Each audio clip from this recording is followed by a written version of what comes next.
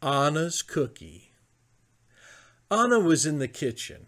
It was time for her to serve the special dessert she had made for her mom's birthday party. Her mom didn't like cake, so, with Grandma's help, Anna had made an enormous cookie. On it, she had written, Happy Birthday, Mom, in pink letters. As Anna picked up the cookie to put it on a platter, it cracked in half.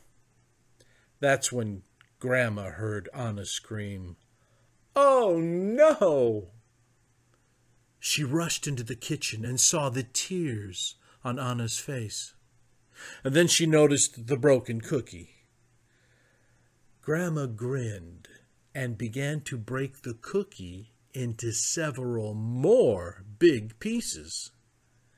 In horror, Anna asked, What are you doing?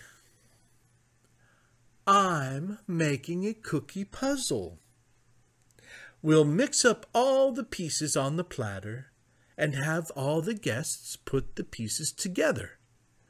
In no time at all, your mom will have her birthday cookie.